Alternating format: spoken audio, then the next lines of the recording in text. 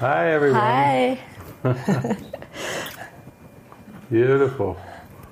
We've got a beautiful, deep session today, but we actually, for some of you who follow along on the uh, lessons, like Frank was talking about yesterday, um, today's lesson, if you follow along in the calendar year, is workbook lesson 307.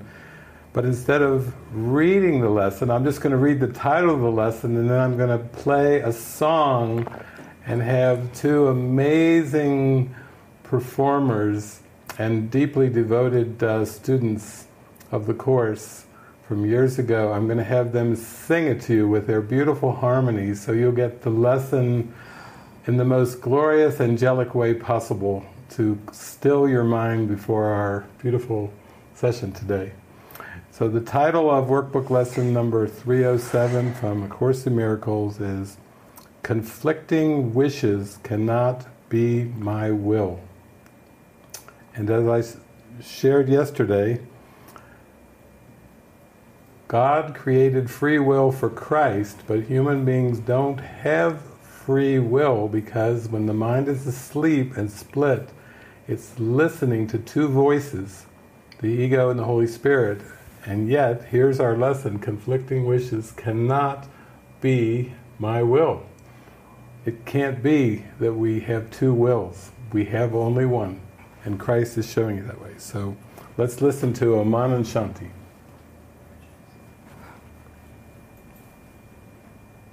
Father,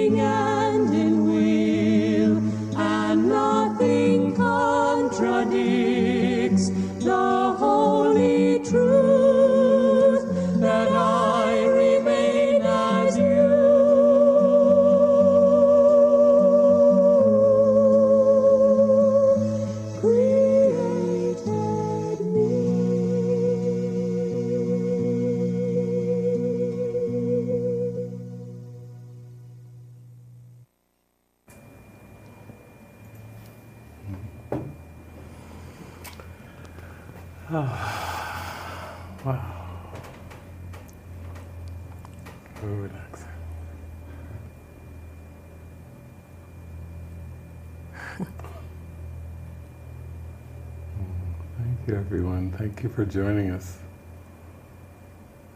We are going to follow through as we said.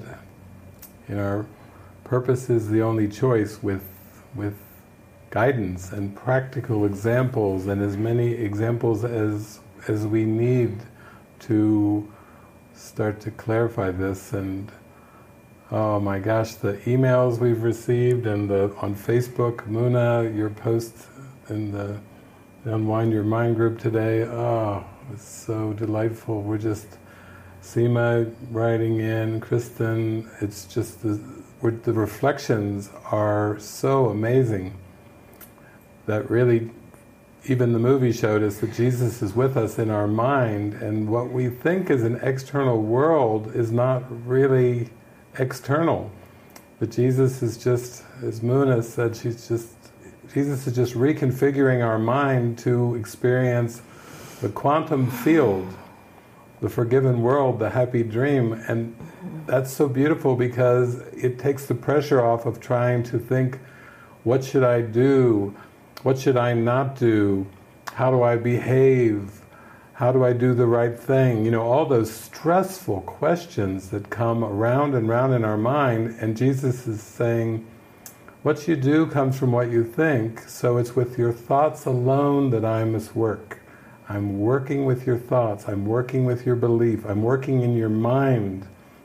I'm showing you this is entirely a mind healing has nothing at all to do with the world because the world is not outside of your mind. The ideas leave not their source.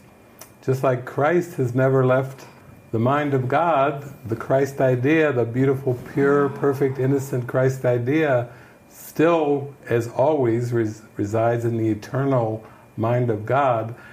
Even with this world, the world is not outside of your mind. That's what quantum physics is showing. There is no world apart from what you think. Jesus says it in Lesson 132. He says it three times in Lesson 132. There is no world, he says in Lesson 132. He's teaching us that it's all our thoughts, and all we have to do is change our thinking, and we are home free, and always have been home free. But we are aware that we're home and free when we allow our mind to, to spring back into the quantum field, the total interconnectedness of mind.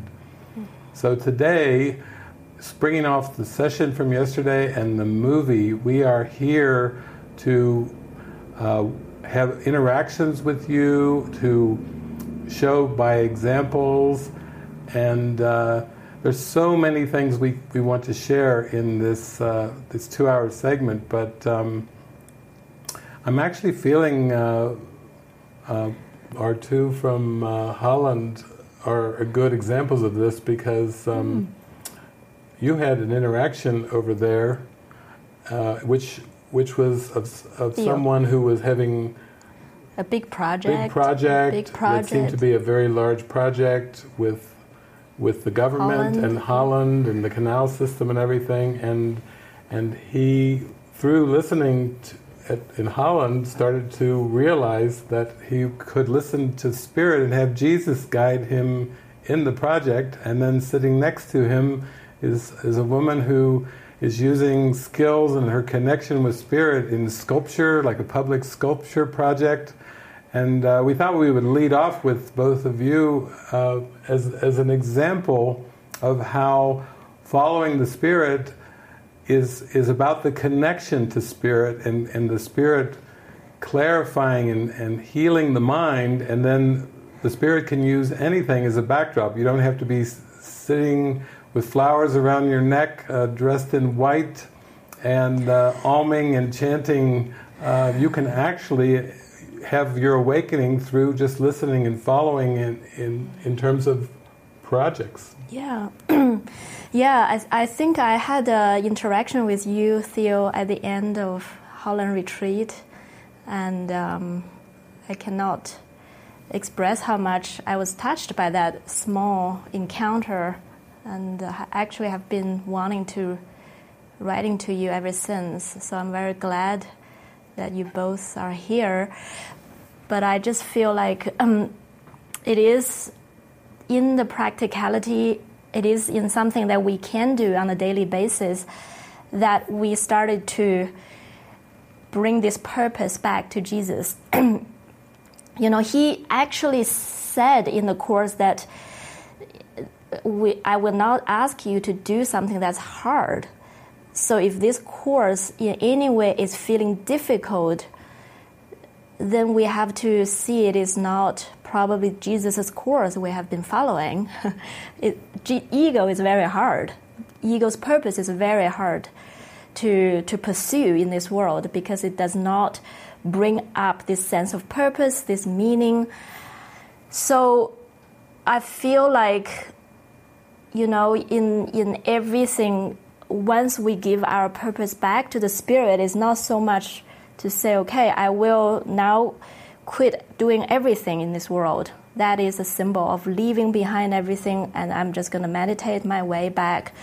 Actually, it is in the willingness to give our life and everything in it back to be used for the purpose of the spirit. So I feel like that's that's the the, the joining point that we have here, and um, yeah, just wondering whether you guys want to share a little bit because uh, you you actually wrote in this beautiful question, um, Marian. So yeah.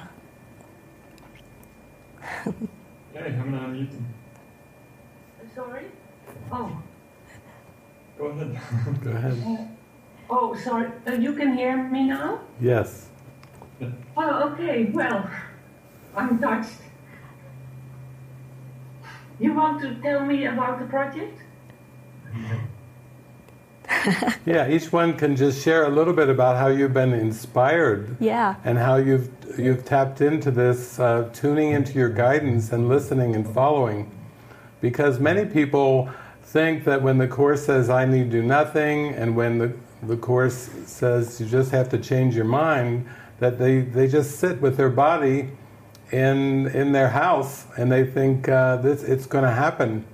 In fact, a f- friend of mine, Lisa Natoli, said for decades she just did nothing and she had no sense of, of joy and, and it took her a while before things started to break up, down and fall apart before she actually started really tuning into those inner prompts and listening and following and you both are, are such inspiring examples that we just met you in Holland so we would love to hear just about your tuning in and listening to that inspiration because uh, you wrote in this morning that you had left the church uh, and then and and also we know that there was time of, of questioning. Is this of Jesus? And you both are such shining examples of, of authentically connecting with that spirit that we would love to, to just hear your inspirations around that.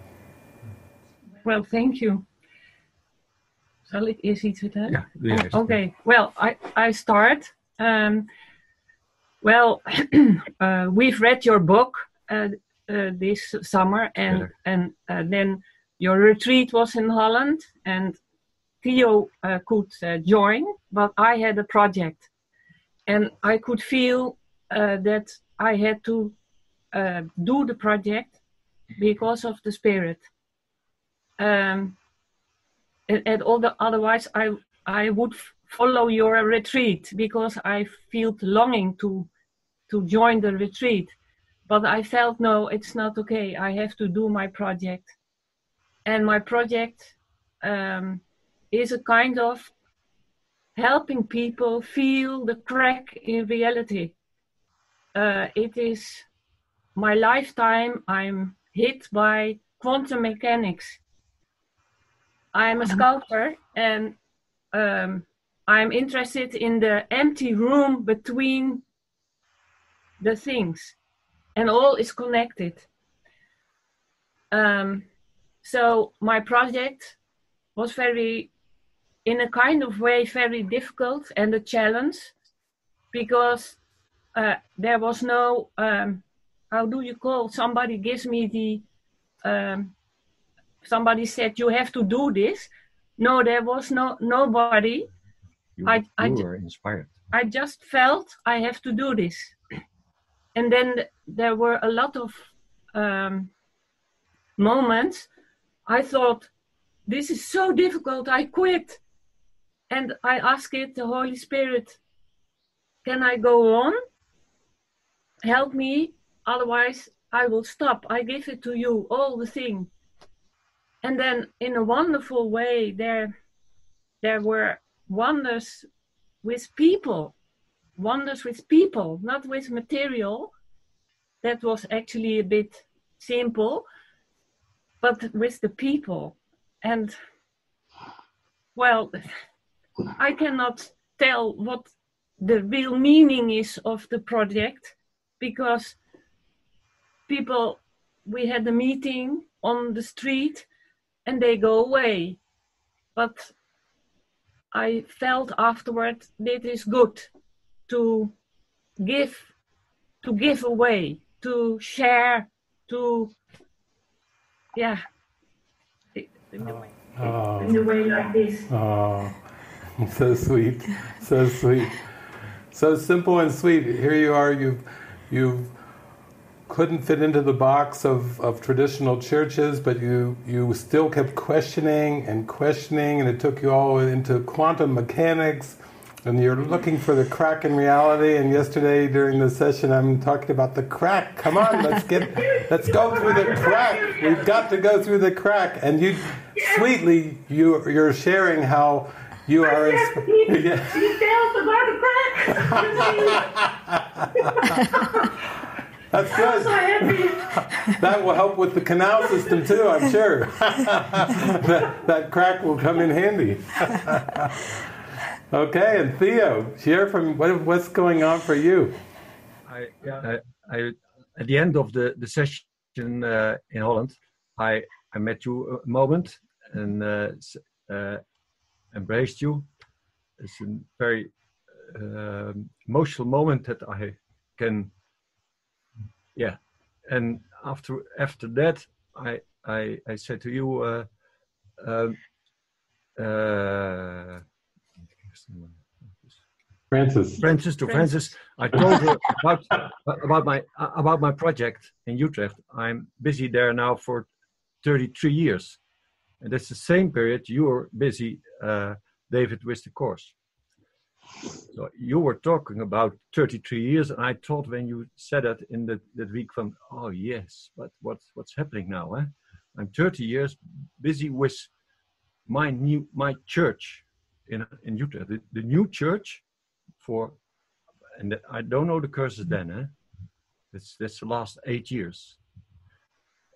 Uh, that's a story on on its own. It's not for now.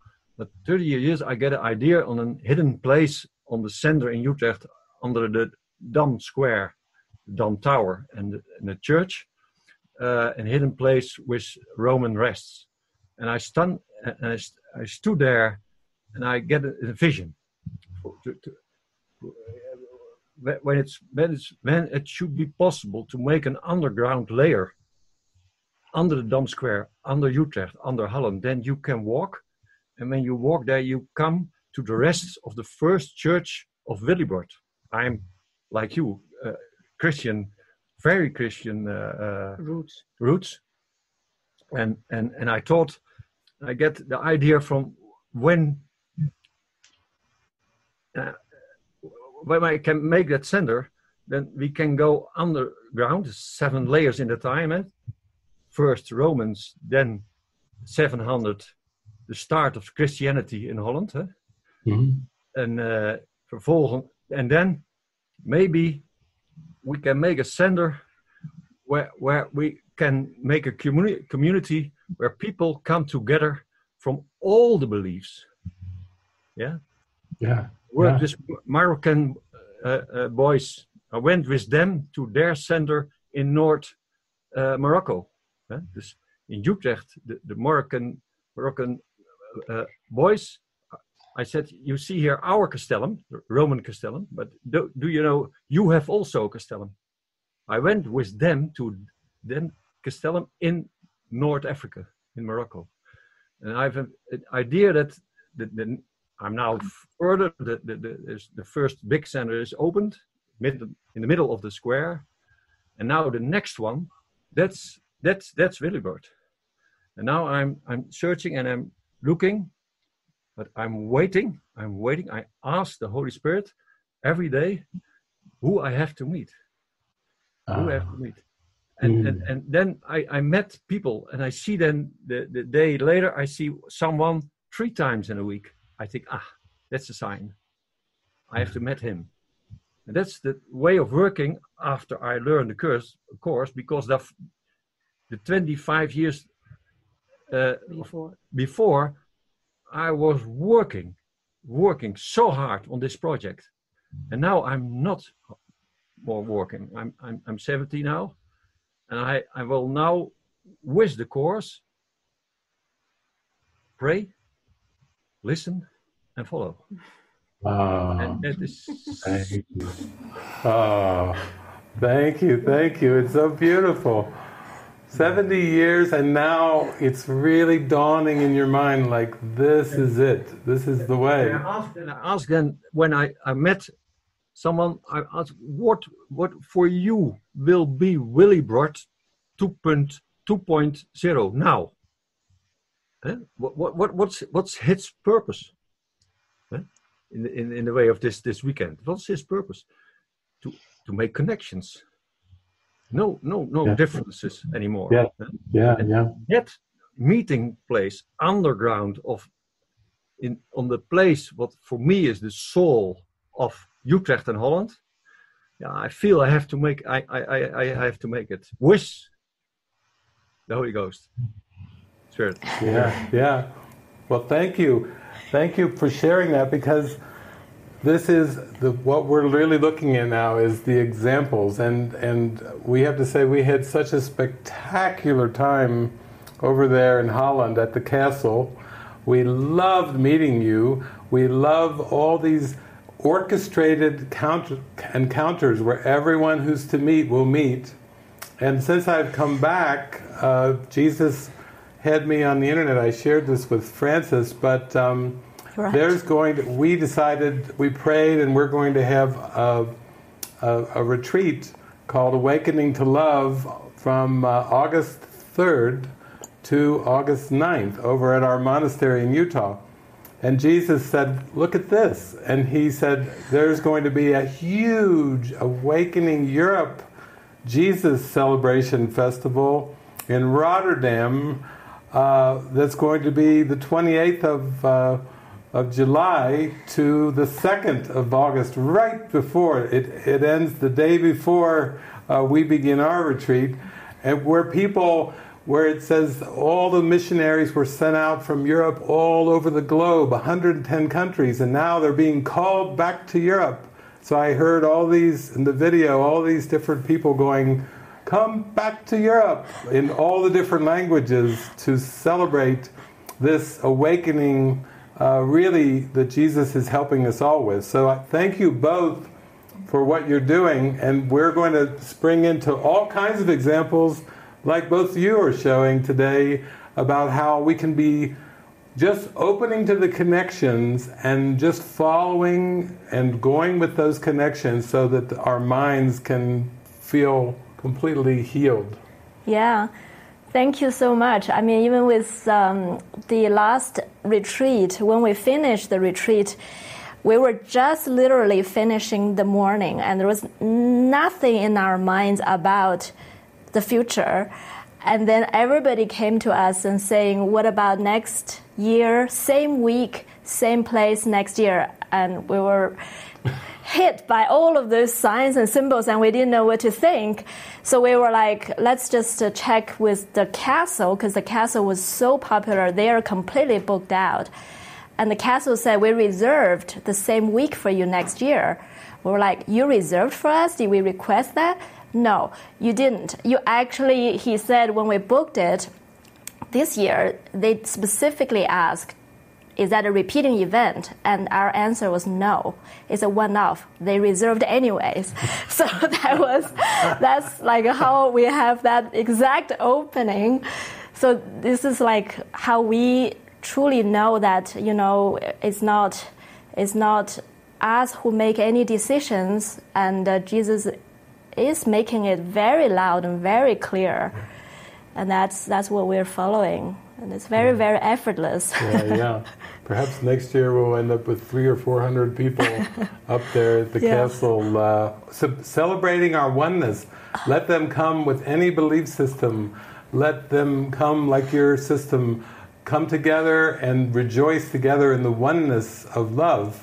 uh, and lay aside all belief and differences because that's that's really what we're celebrating. You know, we're not celebrating Christianity or Buddhism or Hinduism. We're not celebrating the paths. We're actually celebrating the experience of love, of unconditional love that we all are, that we all share, and that's worth celebrating. We can let theology start to fade away. We can let our pathways, even our concepts of pathways, we can start to let that fade away because, as Krishnamurti said, truth is a pathless land. Truth is an experience, as Jesus says, that cannot be described or explained, only experienced. So, thank you. We're here to share that experience of love, unconditional love. And we may use names like Holy Spirit and Jesus, but we're talking about the one love of, of the creator of the of the source of spirit and, and that's that's the glory of this. Thank you. That's a good way to kick it off. okay, well, what should we go to next? There's so much. We've had emails come in. We've had so much. Yeah, and I feel like because this morning I um, woke up and I was scrolling down uh, Facebook, and I stopped at this one post just kind of prompted me because someone put together the, the different passages, five passages together about the Holy Spirit's use of the body, and I thought how relevant because because in the last couple of days, really the, the, the things that we want to share and and the Spirit wants to share is the power of the mind so that we realize that we can do it. If we keep seeing the power external to ourselves, then we gonna continue to feel powerless no matter what. But the only reason we keep the bring power back to the mind and emphasize nothing but that is just to point to this solution. The solution is something at the grasp of our own hands. We can change we can change our own mind. Nobody else can change it. And if all problem, all problem is it only exists in our own mind, then we can change everything. That is really the central message. And it's so practical and so simple. But first of all, we have to embrace this. We have to stop giving the power over and keep using our mind for, for to reinforce that our power is not our our own. So I, I just thought that is what this purpose is the only choice. What is Jesus wanting to tell us? Because realizing that, then we know where to find the solution. But I thought maybe um, I can read a little bit about this this particular um, post that I read this morning, because it, it does bring clarity. Okay, I have to find It's, it. it's from the Course, and this is Jesus directly speaking, uh, because Frances alluded to it on, on Friday night that the Holy Spirit only sees the body as a, as a communication device. And so this is like, that's almost like a note in the symphony, and now Frances would like to share more of the symphony from Jesus, Yeah. directly from Jesus, because that, that is the most amazing thing. So just uh, there, there are five different passages from the course, uh, pretty short, but bear with me. So I will just read them. The body can become a sign of life, a promise of redemption, and the breath of immortality. To those grown sick of breathing in the fetid sense of scent of death, let it have healing as its purpose, capital. Then will it send forth the message it received, and by its health and loveliness proclaim the truth and value that it represents.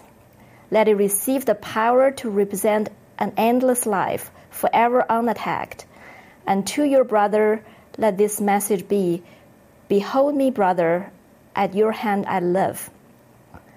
Now in the hands, made gentle by his touch, capital H, the Holy Spirit lays a picture of a different you. It is a picture of a body still, for what you really are cannot be seen or pictured. But this one has not been used for purpose of attack, and therefore never suffers pain at all. It witnesses to the eternal truth that you cannot be hurt, and points beyond itself to both your innocence and his. Show this unto your brother, who will see that every scar is healed, and every tear is wiped away in laughter and in love. And he will look on his forgiveness there, and will heal eyes, and with healed eyes will look beyond it to the innocence that he beholds in you. Here is a proof that he has never sinned, that nothing that his madness bid him his madness bid him do was never done, or ever had effects of any kind, that no reproach he laid upon his heart was ever justified, and no attack can touch him with the poisoned sting of fear. Attest his innocence and not his guilt. Your healing is his comfort and his health, because it proves illusions were not true. The central lesson is always this that what you use the body for, it will become to you. Use it for sin or for attack, which is the same as sin, you will see it as sinful. Because it is sinful, it is weak. And being weak, it suffers and it dies. Use it to bring the word of God to those who have it not and the body becomes holy. Because it is holy, it cannot be sick, nor can it die. When its usefulness is done, it is laid by, and that is all. The mind makes this decision as it makes all decisions that are responsible for the body's condition. Yet the teacher of God does not make this decision alone. To do that would be to give the body another purpose from the one that keeps it holy. God's voice will tell him when he has fulfilled his role, just as it tells him what his function is.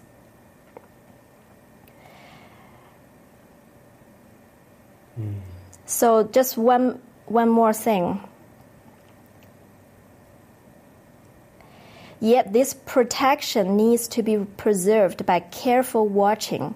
If you let your mind harbor attack thoughts, yield to judgment, or make plans against uncertainties to come, you have again misplaced yourself and made a bodily identity which will attack the body, for the mind is sick. Give instant remedy should this occur by not allowing your defensiveness to hurt you longer. Mm. Very simply, the resurrection is the overcoming or surmounting of death. It is a reawakening or rebirth, a change of mind about the meaning of the world. It is the acceptance of the Holy Spirit's interpretation of the world's purpose the acceptance of the atonement for oneself. It is the end of dreams of misery and the glad awareness of the Holy Spirit's final dream. It is the recognition of the gifts of God. It is the dream in which the body functions perfectly, having no function except communication. Mm. Oh, that's so powerful. Because I think that's giving us now we're getting like the keys to the kingdom. We're getting the keys to purpose is the only choice because that last part that frances read it sounded like lesson 135 workbook lesson about if you make plans for the future you have again made a bodily identity. And that is probably one of the most core things that we can emphasize. If if purpose is in the mind and purpose is in this present moment, and purpose is the only choice, then even making plans for the future are involving the ego's self concept, and that will again reinforce a bodily identity in your mind. And your purpose is to wake up to spirit, is to loosen from, disengage from that bodily identity. Let the spirit laugh and sing and speak and hug and shine and radiate through the body so that you can loosen your mind's identification with the body. In fact, there's a part two in the course in the middle of the text where basically Jesus says he says at no single instant does the body exist at all. It is always remembered or anticipated. You hear that? It's like he's saying at no single instant, this holy instant that you give over to Jesus and Spirit perfectly, you will lose awareness of the body. You know, when like when you're playing or you're engaged in something that's so joyful, you actually lose awareness of the body. You could be, you could be running, uh, or you could be singing, or you could be sitting, or cooking, or doing one of any other things. It doesn't matter what the body seems to be doing, but you lose awareness.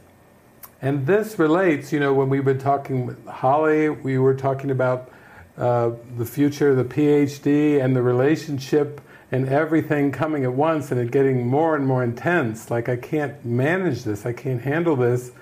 This is the underpinnings underneath why we have to trust in the Spirit to guide us in all things. You have the Holy Spirit with you now, you have Jesus. And when you hand it over and you say, whatever's good for the whole of the universe, bring it to me, show me. Uh, everybody knows that, that a PhD even is a symbol, and of course, uh, that symbol seems to bring with it a paycheck. You go from a stipend, a student, a student stipend, to a full paycheck. To the world, that seems like a worthy goal. You know, that's why I was saying you don't stay at McDonald's flipping burgers for 25 years because you might be able to do some other things that, that help you pay the bills. But what if the Holy Spirit is saying, I'll handle everything. I'll handle absolutely everything with your, your body, your world, everything. If you'll give your mind to me, I will take care of everything, and you don't have to be concerned about the future. That goes against all of our programming. Mm. Why was I in university for 10 years? Why did Frances have her own business? Why do, did I put all, I, I even have a degree, a bachelor's degree in urban planning. It's even got planning in the, in the name of the degree. I have a bachelor's degree in urban planning, and then Jesus is laughing as he gets a hold of my mind, going, Oh boy, we got a planner here. we got a slow learner, a planner, because the whole profession was designed on the future. And he says, I want you to, to trust in me. Let present trust and confidence lead the way. So I think what we do need, though, is examples. I mean, I know for you, Holly, we both had the same thing. We needed lots of examples and lots of demonstrations to show that this was actually possible. And then Another thing that came to mind today was uh, our beloved friend Seema, who's a medical doctor, who wrote into me today. And Seema has been following along and joined with us so deeply for so long. And she's been a medical doctor. She's loosened from the, the medical a bit where she was using other kind of the mind and alternative healing in combination with the medical symbols and then she moved into coaching, and so now she's coaching people on on awakening. And and now today, Seema, you wrote in this beautiful email where you were starting to get activated this weekend and, and before for writing stories. These deep stories that have touched your life, like my friend Dale in prison, you, you mentioned, who who got a hold of, of some of my books and, and has now written his own book, and he's freeing his mind while his body is still in prison for years to come. He's, he's freeing his mind because his body is not imprisoning. So I just want you as an example here for Holly and for all of us, just to share a bit about actually your new inspiration because I'm very excited about how the Spirit will use your storytelling ability as remedies, as inspirations to help people light up and, and the stories will point them to the spirit within themselves. I would love to hear your inspiration. Um, can, can you hear me? Yeah. Yes. Okay, perfect. Thank you. Um, well, I, I, I've just been really um, captivated by, like when uh, David, when you were talking about um, the in, in the hurricane re- movie review about Dale and his experiences. And then recently I've been reading this book about Mary Magdalena and um, stories within stories. Um, and then I, I, watched just the, um, the power of the heart that you had referenced in the um, Holland retreat and the story of that woman in Rwanda. And there was something just like so powerful about stories. And um, I, I, it's, it's funny. Um, when I was like 16, 17 is well, I, I, there's a whole story about how I became a doctor, but it had a lot to do with with my parents and my father. Um, you know, I, I tell this story in, in, the book that I'm writing about where I was literally born and he pronounced that I'd become a doctor. So I kind of, I kind of lived. I kind of lived out that story because I, you know, I, I loved him and I loved my parents and being in the Indian tradition. But I always wanted to be a writer. Like that's what was always in my heart. So so now um, I'll, I'll just feel this inspiration and I'll just be on Facebook and I'll just, just put something in and it, it'll come together like, like effortlessly, like I'm not trying to think or whatever. And then people will respond, oh, this was helpful or thank you for sharing that. And it just feels so joyful. Like there's not a thinking and yet there's healing and and i know my my true desire um, even when i was um, practicing medicine it was always healing like how can i be helpful? Um, how can i you know be of service here to this family in this time? And you know when i leave the room I, I want them to feel better than when i entered. Like i just i just want that. So so yesterday i was transcribing notes from the, the retreat and as i shared in the email I, I was listening and i was like okay david said this and frances said this and suddenly it was all and then there was stuff coming in and i just was like whoa this is like what's happening? Like it was like this such a joining that um as i shared with you david i almost had this fear come up like what's going on? Like i'm being possessed or something. It just was really weird.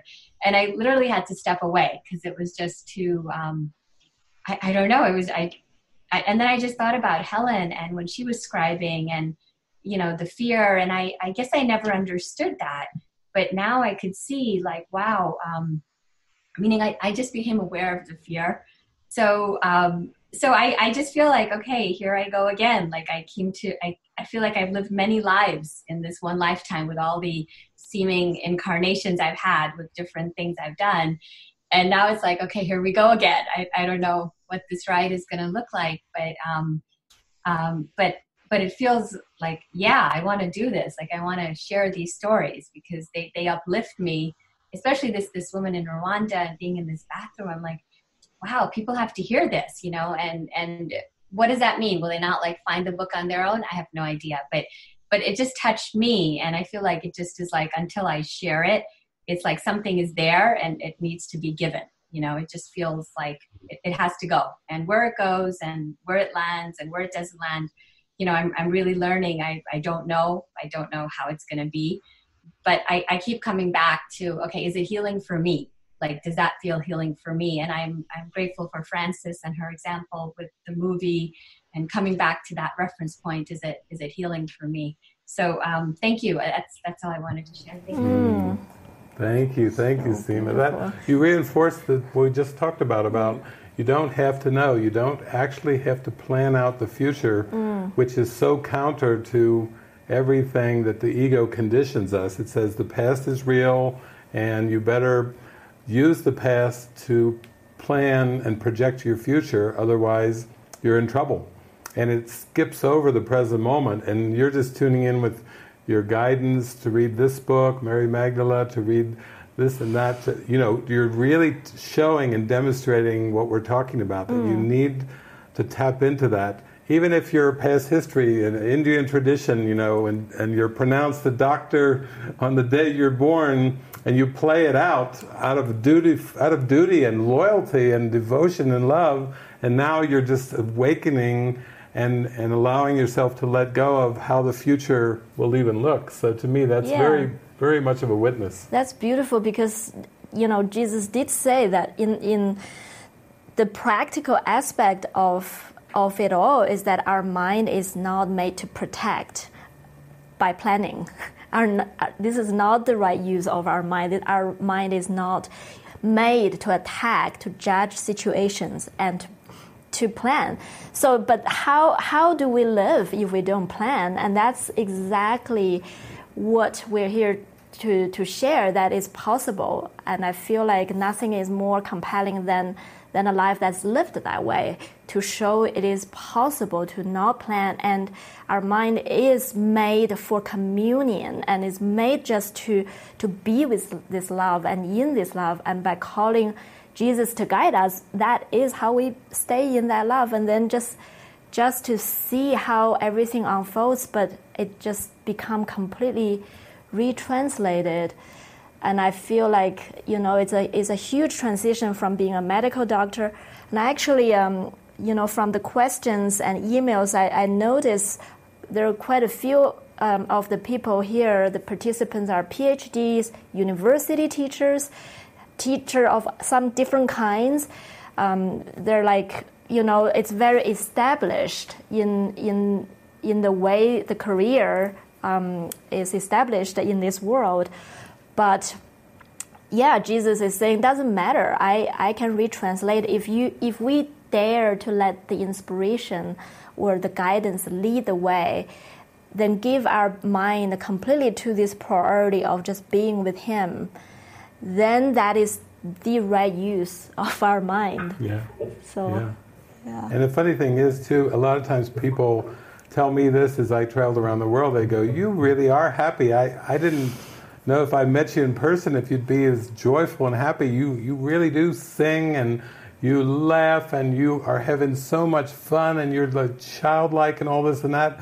And it's like, well, you see the you see the reflection of mind, but but what what it is is really devotion to following guidance, being spontaneous, to to not knowing how it would- unfold. Like uh, these last 33 years with the course, I had no clue. I just gave it over to Jesus and said, "You're in charge now. You you drive. I'm going to get in the passenger seat. You want me to do something? You tell me. You want to speak through me? That's great. Anything you want, you got it. Anything you need, you got it. Anything at all." Baby. And that's what my my actually was my devotion. And then it all came from that. And i have to say that for those of you who've been hanging in with us online you are s- such inspirations. Because we've had examples there of somebody who's working in downtown doing sculpture. We've had a medical doctor.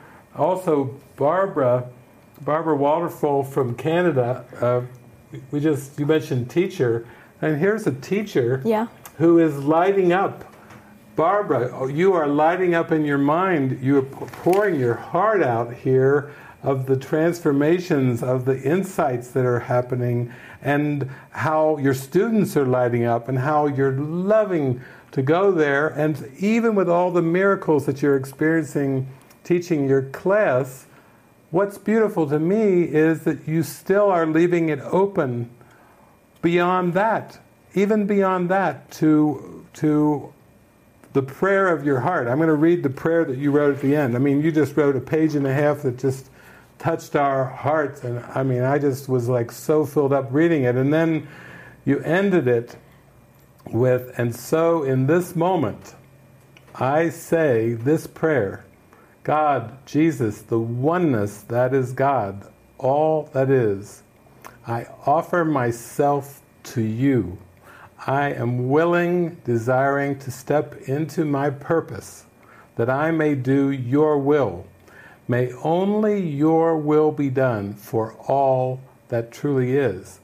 So you've not only, since you've been online with us since the summer, you've not only gone through these huge miracles that are giving you a whole new way to look at your job at, at the university where you work, even contemplating when I said, say no to the ego, and you've called your workplace the university, the temple of the ego. Uh, I say no to that, to the temple of the ego, and now how beautiful is that? Oh my goodness, what the Holy Spirit and Jesus can bring in with that with that prayer, you are praying for so much. It's like you're opening your mind and you're saying, "Let the floodgates open up here." I uh, call it whatever you want, a miracle worker, a teacher of God. You can use any name you want. Call me Barbara. it doesn't matter. I, I'm not. I'm going to just be used as the light of the world and you you know, I have to say, your devotion to, to hang in there through very, very dark times. There was time you mentioned when you were just, we were ready to do an online retreat and you were having suicidal thoughts before the online retreat. And you came on the online retreat and it, it calmed your mind. It, it gave you that realization it's going to be okay. Do all of you know how amazing it is to go from having suicidal thoughts to a state of mind, it's going to be okay. That's the difference between hell and the, and the foothills of heaven. That, that, is, that is the difference between hell, the, the ego saying you need to die, and, and having the hope that you will succeed and that it is, it is inevitable that you will know your Creator. So, you know, I'm just, I, I've just been looking at all the ones that are writing in, and I just want to thank you again, Barbara. Thank you so much for for being above all things, for being so transparent. What you've done, Holly, your transparency, Frank, your transparency, Muna, your transparency, you're just you are just laying your hearts on the table and you're just saying, here it is, Lord. I, I need escape. I need to know peace and love and joy, and I'm willing to do whatever it takes, and you're putting your hearts on the table. And I'm, I'm actually, there's so many people that are, that are writing in today. Um, Lisbeth uh, with a broken wrist. I mean, she watched the session. She's here. Lisbeth, oh my gosh you write this beautiful message today where we're like, oh my gosh, Lisbeth wrote, what, what a beautiful session we had so far. Yesterday, after the movie session, my heart was bursting from love and happiness. Couldn't contain myself. Wanted to sing and dance, but it was 12 in the morning, midnight. happiness for no earthly reason. Here I am, I have a broken wrist, I will be operated tomorrow, but I'm miraculously happy. Three exclamation points. And here it is, and it struck me if I can be happy for no earthly reason, then it is clear that my unhappiness has no earthly reason either. Aha, got you, ego. Thank you, thank you, thank you from the bottom of my heart, my sincere love and gratitude. How glorious when we start to let go of looking to the world and thinking the world must bring me happiness. My achievements and my accomplishments must bring me happiness. What I do must bring me happiness. You know, who's around me, the people must bring me my happiness. And start to realize that, oh my gosh, purpose is the only choice if I accept my purpose, I am the happiness. I am the actual experience of happiness, and I will radiate that. I will shine that to everything and everyone because it is my purpose. And to me, these are the witnesses that we're getting. You are showing that you are accepting this purpose, and, and this is for us the greatest joy to, to witness that you're doing that. It's just amazing. Yeah. It's miraculous. It is. It is so amazing. I just yeah, I feel so touched as well because it is because the the thing is Jesus is saying like let's just use this body for as long as it takes to keep sharing the message of of our true joy and our true reality and and that is he is actually sharing it. We don't even have to come up with the message. So it feels so simple. And he actually also says you know your experience will always be erratic meaning that uneven like um, a little unpredictable. If if you don't commit to one purpose so if we commit to to two then it's always going to be erratic and i think what i hear from from our daily examples or daily life and problems is not that we never had joy, we never experienced these uplifting feelings, we never feel Jesus is guiding us, but it's those darker moments that really stood out to us to say, you know, I've had enough of this. Why there is still this and that? Both are existing in my experience. And I feel like we are worthy to say, not that at all. You know this is this alone is what i want. Then this alone is what i commit to. This purpose alone is what i commit to. And i feel like in a way this weekend is is a taste of that because that's that's exactly what we did. And it's how effortless you know yeah. it's not through effort that we give the purpose over to healing to, to show up for jesus yeah, it's amazing too that as I, I come back to it over and over, that purpose is in the mind, and purpose is a decision in your mind, and purpose is not the form. The ego projected the forms out to give all the specific forms its own different purposes a purpose of a body, a purpose of, of a car, a purpose of a house, a purpose of, of whatever, a tree, a, a hammer, a saw the purpose is not in the form. You may seem to have something that's called like a special function where your skills and abilities, like with Lisbeth, your amazing singing voice graced us at the mystery school. And with many of you, your skills and abilities are touching us, and we are so touched by them. But remember, the choice for purpose is coming in your mind, it's not in the form. And the, a good example of that is uh, uh, we had a summer here. On my birthday, I went to to see some movies, but we were watching some movies, and Svava's with us here in the studio, and and she was searching for her purpose. What's my purpose? Jesus, please tell me. What's my life's calling? Please tell me. Please show me. And she, mm-hmm. we watched this movie. I think it was called "I Could Only Imagine." Was the name of the movie we watched it, tears pouring down our face. We watched the whole movie. It was about a man finding his calling, his purpose, a big forgiveness lesson with his father in the movie, and then singing this amazing song that went to the top of the charts and it went all around the, the country uh, of the United States as, as like a major hit. And then after the movie, Svava was like, Thank you, Jesus. Thank you.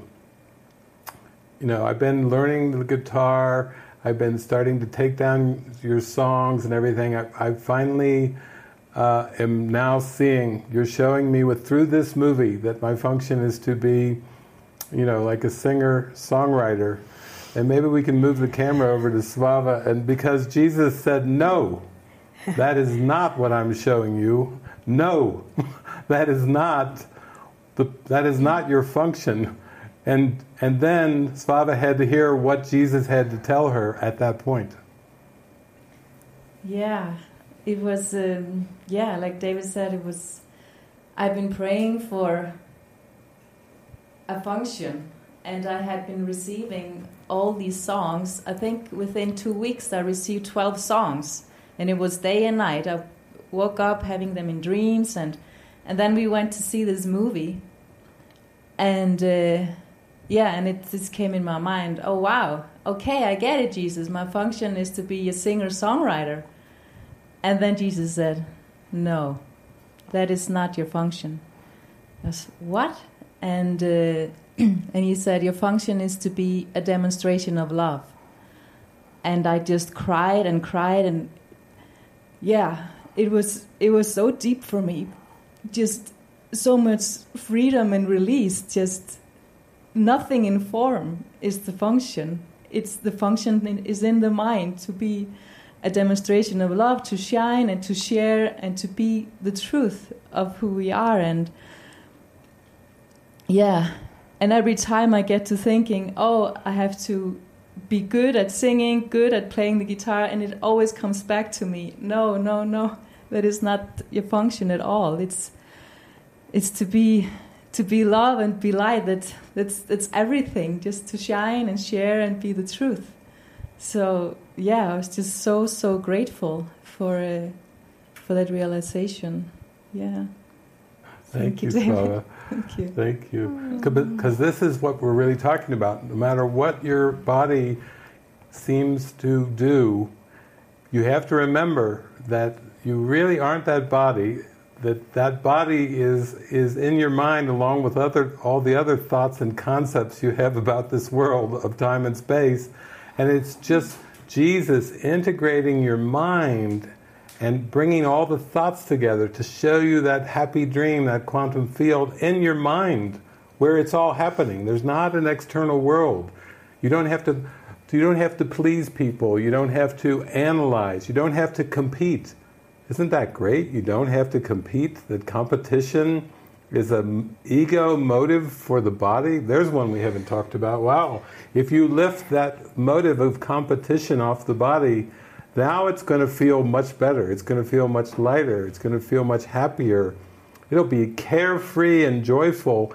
It will feel that way when you lift competition, analysis, figuring out, problem solving, uh, saving the day. How many of you have projected saving the day on the body? You have to save the day for, for your family, for your parents, for your children. You have to save the day. No, Jesus says only your mind needs salvation. Only your mind needs salvation. And it's only salvaged, he says, through peace. So he tells you what needs to be salvaged your mind, and which is fragmented, and he wants it to be whole. And he tells you it's only done through one means, not through doing, not through processes and everything. It's only done through peace, which is the guidance of, of listen and follow. So this is the key point I want to make. And my friend Eric caught this from from this weekend. He was saying, I saw that David's saying the purpose is is in the mind. Eric Archbold, he said, I saw in the mind, and it's not found in form. Oh my gosh, we're getting we're getting really happy now because how many of us have tried to find our function in form? We want to tell Jesus what our function is. Okay, I'll be a good little boy, a good little girl for you, and I'll do I'll do my Hail Marys or I'll do this, I'll do service, I'll do all these things. Is it okay? Is that enough? Am I in heaven yet? I'm going to work hard for you. You know, it's really hard, but I'm telling you now, you can't find the purpose in the form. Like like Svava found out, you know, from Jesus, no, I'm, your purpose, your function is not to be a singer-songwriter. You're to be a demonstration of love. It's like Jesus saying to all of us, I want you to be a demonstration. Give me your hands and your feet. Give me your voice. Give me your face, your lips. Give me your body that I may use it as an instrument for my love, that my love may shine through you and reach through you. Why? So you can see that you're in your mind, that you're not, you've never been a character out there on the screen because the screen isn't out there. As Ken Wapnick taught over and over, there is no out there, out there. uh, you know, did you ever see What the Bleep? Uh, do we know, you know, Fred Alan Wolf? Remember the last scene with his wild white hair flying around? He says, Don't just take my word for it. Find out for yourself with his white hair flying all around. The last scene of the movie, he's like saying, Come on, have some fun. Get into the quantum field, get into the joy, find your happiness. But it's not to be found in the form. So you don't have to pressure yourself and say, well, if I'm not going to be a doctor or if I'm not going to be uh, this or do this or do that, then I need something else. You want me to.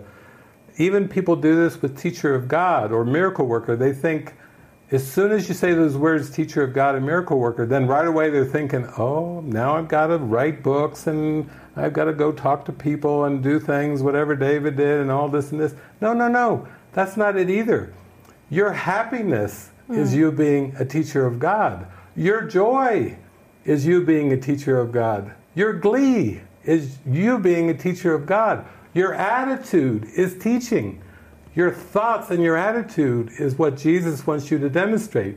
And He'll direct everything else.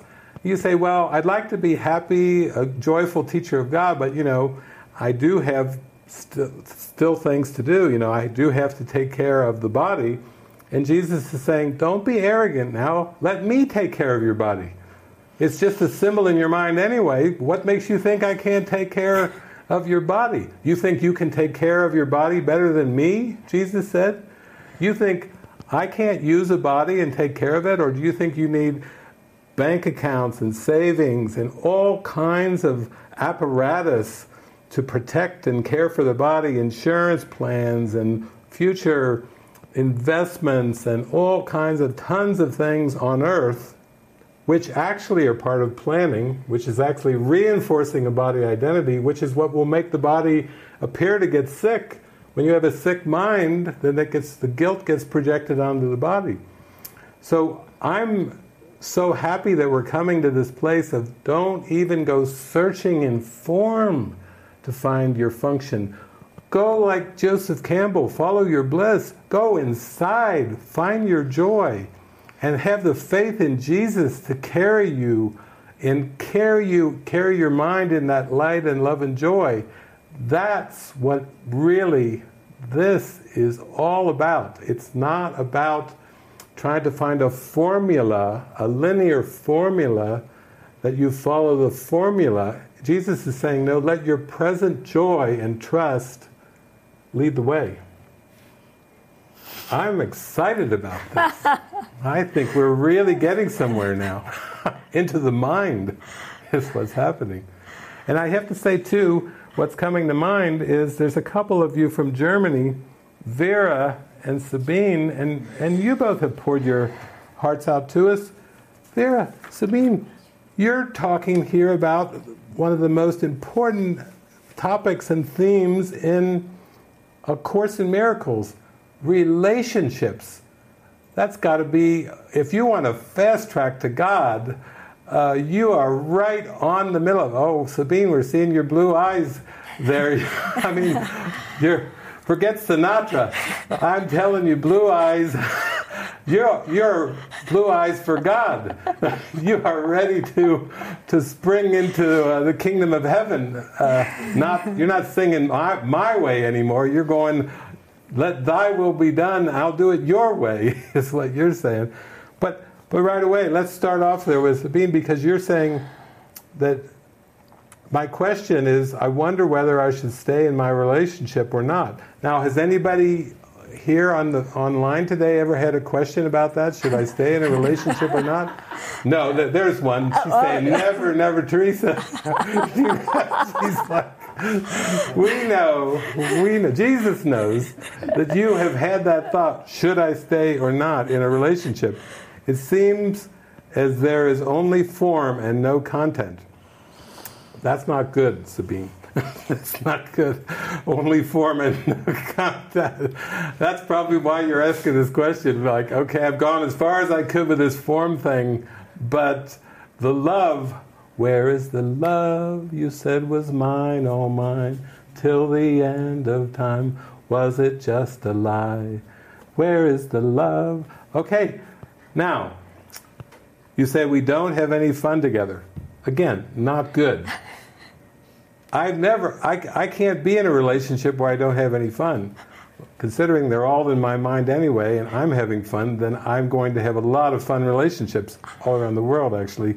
But it's all in my mind. when would we we would split? So you're already anticipating the split. I will also have no work. Okay, so here we. This is perfect. You work together. You're in relationship. It's not fun. There's no love.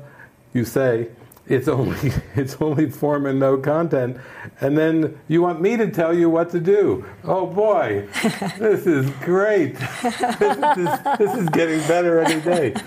Okay, Carnac. Was Sabine supposed to stay in her relationship or not? Now you know the answer. That's why you're you're asking me. You're asking me. But I'm t- telling you to follow your joy. I'm telling you that Jesus is in your mind, you're in your mind, and that that you are going to follow your heart to share your joy, expose everything in the unconscious mind, everything without a bit, and you're going to put Jesus in charge of this. And and I would say if that's really your prayer, if, if that purpose is there, and you've been with us this whole weekend experiencing that it's all in the mind and it's all a decision, it will just dawn on you. It will dawn on you. But since I'm so practical, and I'm very, very practical, I'm not a big theory guy, I'm just a practical guy. I'm going to call on two people from our studios in Camas. One of them has recently divorced, and one of them got married. In fact, in Take Me Home movie, got married. Uh, I was in the movie, me marrying the two. These two guys, one of them is just recently divorced, and one of them is, is recently uh, married, we'll say, and and they, hey, Sabine is right there. She is asking the question. Uh, she wants to know about this relationship thing, and not only Sabine, Vera, Vera is watching too, and Vera wrote in a lot more. Uh, and Vera's got some real big questions about this relationship thing and and what should come next in her life. She's really sincere about this as well. So we're going to turn it over to, we're going to go north to the Camas studio. So you're going to hear it right from these two because there they are, the ex husband and the husband. And uh, they can tell you a little bit about this relationship thing from their own experiences. Take it away. Thank you, David. Okay. David, I have no idea how to follow that up, but um, yeah. Well, yeah, it's well, it's been a beautiful experience for me to uh, actually, yeah, divorce and to break up um, because we've held out the purpose so strongly um, in our marriage. Um, it was for healing, and um, yeah, it's so uh, for me. Um, I just prayed and prayed um, and continued to just pray and just be, you know, ask for it to be so obvious, you know, with the relationship, and and actually, I, mean, there was a flip. I mean, uh, our parable was that um, we actually uh, grew closer together and we um, we got happier together. Um, we started to feel uh, the, the the strain of the relationship and the pain of the relationship that just started to really really fade.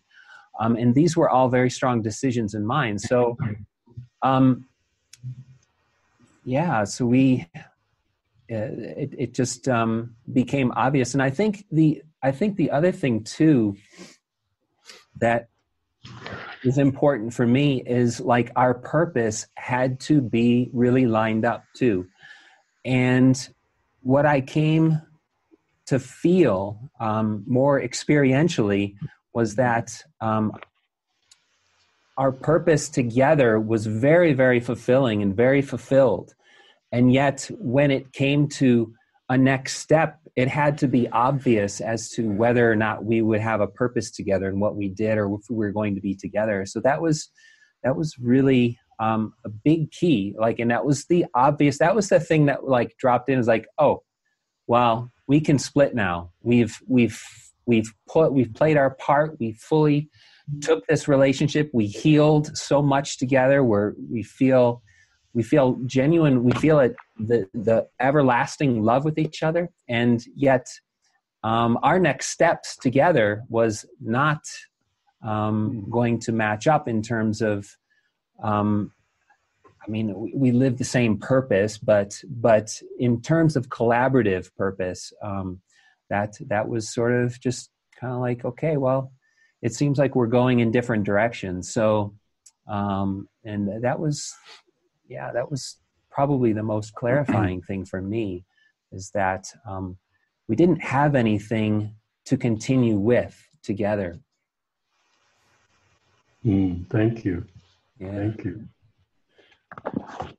Yeah, I can share a little bit. My my wife is actually in the studio here. She's behind the audio here.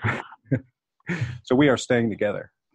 but actually, truthfully, uh, something that I had heard early on, and it was one of the ones that had gone before here in community, just asked a simple question to certain ones, and is this relationship supporting my awakening, or is it not? Like what Frances was talking about, that really touched me on Friday. It's like, is this bringing me closer to spirit? So. There was another book that we uh, that we read here with the Varleys that David speaks about once in a while, and they would come together you know once a week or every couple of weeks to actually talk about hey should we stay together? What's our purpose together?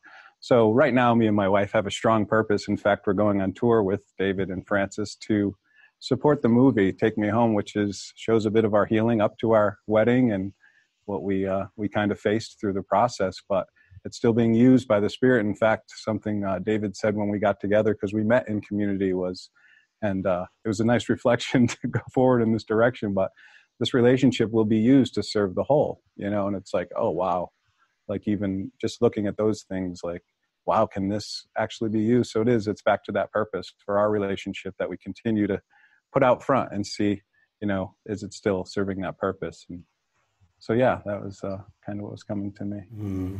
thank you. Thank you both. That's very very helpful. And we do want to carry it forward because I've just passed along a bit of what Vera was writing in because Vera came back from the Holland retreat and and yeah, it was it was uh, Vera was very intense after you returned to Germany from Holland and uh, and uh, I just felt I pass it over to uh, to Frances because we'd like to actually go into this topic a bit um, with you because I hear your prayers. You're really wanting this to be very obvious and very clear, and you you just poured it out. You actually poured it out to us, uh, which is the one thing you're asked to do. Is the only thing you're asked to do is to not hide it and to not keep it in. So Frances mm. will take it take it in from here. Okay, so I um, I probably I just read the very last mm-hmm. bit. Vera, you're saying I'm tired of all the fear I have, and in the special, the fear that I feel when my partner or anybody else I love refuses me so badly. How can I handle this? With the gentle help of the Holy Spirit, finally in an easier way. That's so beautifully put because um, yeah, when I re- read this, first and foremost, I want to say this is like um, a pain that we, as humans, we all carry in our hearts. Like this, this pain of feeling the love that we, if we open our heart, you know, the rejection, because, you know, Jesus actually says that the, the pain of separation is the only pain that you that you're experiencing or you need to heal. But in the experience of the daily life, this feeling of rejection and being rejected of love, and this love is not flowing somehow, it's not received, it's just so enormous. And I, I just, David mentioned yesterday about this movie, uh, The Joker. Actually, he is such a villain character, and yet in that movie it's almost like a character study. The, the beginning of his life is almost being triggered by those tiny little things in the world. Something misunderstood him. There was no love when he opens his heart to playfulness. It was so hard. And and I really resonate with that because I I do I feel like it is in those tiny things we all actually are so sensitive. We're so sensitive to the lack of love. It's not normal to our mind. It feels enormous, and yet, oh, I feel like. But somehow in the ego, it's just like not okay to feel that, you know. But this is uh, like a shared experience, this sensitivity whenever there is a lack of love. So that's why I kind of really enjoy that movie because I feel that's exactly what human experience is like. It, it, it feels like it's this moment of lack of love that's been perceived. And it's in the relationship, it's in the, the so called perceptual world. But I think the, the hope of this course and, and this retreat is that you know, let's bring back where the love is truly lacking. And it is in the mind and it is in the spirit that we can experience. And in a relationship, especially in the special relationship that you're touching on, why is that feeling so intense in a relationship that that we're close to?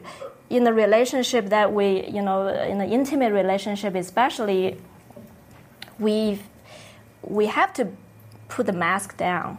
That's that's that is somehow where there is a security, there is a closeness, and there is intimacy, and we allow ourselves to put the mask down.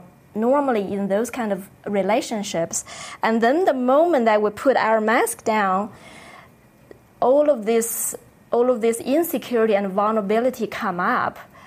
And if the purpose of those relationship is not in support of facing those and releasing those with the help of the spirit, if if the purpose of the relationship started to become accusing each other and asking why don't you give me what I'm lacking in feeling this way, and build up expectations and build up this this this thing, then it actually just gonna go toward that direction of being still in the loop of facilitating the lack of love in our experience. So Jesus actually says, in order to achieve the goal, you have to go toward that direction. It's as simple as that, not to go against the direction of the Holy Spirit's purpose any direction that we, we, we, we go toward in our relationships, in the ego's relationships, to use a relationship for the purpose of providing us security, providing us a sense of um, self worth and self specialness, a, a sense of identity, that is just going against the direction. So I think Vera, I, I, I remember when I met you in Holland, you actually came to me. You said to me that you said um, I, I, I found out about David three weeks ago, and um, I, I'm, I saw you on YouTube, and you were interviewed by this Swedish guy about this particular project. And I said, "What Swedish guy? I don't. I, I'm not interviewed by any Swedish guy." And you're like, "Yeah, yeah, you are." and then in the end, I realized it's a Danish guy that you're talking about, is Soren, that you watched that particular uh, interview that he and I were talking about using a project, uh, making the movie of Take Me Home, and how we really work. And, it, and the project itself is so it's so set for that direction like the project is used for that purpose and there's no other purpose so the closeness that we feel is because, like Jeffrey just mentioned, because we want to use everything to be closer to the spirit. So we want to use our relationship to be closer to the spirit. And in the end, we did feel very close to the spirit and to ourselves. It was so actually funny because um, I think Soren was talking with some other uh, course teacher at one point, and and then uh, talking about his experience with me and making the movie. And the other teacher said, "Is she um, Frances in a relationship?" Soren said, "Yeah, yeah, she's uh, she has a partner." And then, "Are you in a relationship with her?" "Yeah, yeah, I am, very deep." And the teacher's like, "What's that?" and then Soren's like, "It's love. It's very loving." But it's like, what, what is what is going on? But it's you know the, the relationship that that two bodies seem to to have is so much defined into boxes of uh, what is because relationship outside of an intimate relationship how can there be love there? That doesn't make any sense. You can't love someone the same as the one that you're in an intimate relationship. But i feel like this pathway um, and following this is healing this this central feeling that as a human being and separate body the mind is feeling this lack of love everywhere it looks and the fear of rejection the fear of experiencing that and and the, toward this goal what happens is is that we started to realize we can feel this kind of love everywhere. With the intimate relationship partner, with someone I collaborate right here in the studio with projects, and even the ones I think of. My ex husband, I don't see him, I think of him. There was the exact same experience. So I would say that that is the goal and that is happening and it's not strange it's actually the most natural thing but just from your question i just want to acknowledge that it's not you're not alone in feeling that way in this fear of being rejected. And actually um, in the movie take me home i think you already saw it in the holland retreat that's that's exactly what people bear um, their heart out to, to, to show. This is this is what we're here to heal this this sense of lack of love. Yeah it's so beautiful because this what vera what you're sharing and, and, sabine i haven't forgot about you with the blue eyes uh, we're coming back because we're going to use purpose is the only choice and we're taking our topic for the day it's in the mind it's a decision and now we're going to bring it together with relationships. We're going to take the most profound topic in all of time and space, purpose, which is the purpose that sets you free, sets you back into eternity. We're going to move it right into the topic for the next half hour of relationships with Sabine and Vera leading the way for all of us because this is for all of us. We're going to demystify in half an hour the one thing that the ego does not want demystified.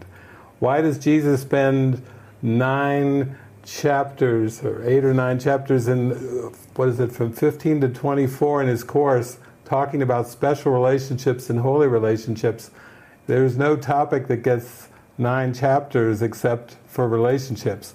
Now, right here, all of us together, with our last half an hour together, I'm going to unlock the keys to every single relationship issue that you've ever had with a partner, with a mother, with a father, with children, with your neighbor, Sylvia. We're going after the whole kit and caboodle in the next half an hour. And we're going to use Sabine and Vera to do this because they have volunteered. they have poured their hearts out. Okay, Sabine, we'll come back to you. Sabine, you wrote that it, the, the relationship seems to be form and no content. And yet, you know in your heart after the Holland retreat that it needs to be about content and not the form. in other words, the form should be irrelevant and the content, the content is love. I'm talking about agape love. I'm talking about unconditional love. Like Frances said, a love of everyone, a love of everyone and everything, including the ones you think of. That's such a big love that it can swoop and take in Hitler, Osama bin Laden. This is kind of big love, you know, it's like, oh, there's no, Judas, no problem. It just swoops, it's so big, the darkness cannot hide, the big love is coming. It's agape love, it's the love of, of God. And you wrote in your question that at the very end you said, well, if we part, then I lose my, my job. I thought I was I noticed that when you said if we part. So there's just another option. You're giving this all over to spirit, and you did mention that if we part, then I lose my job.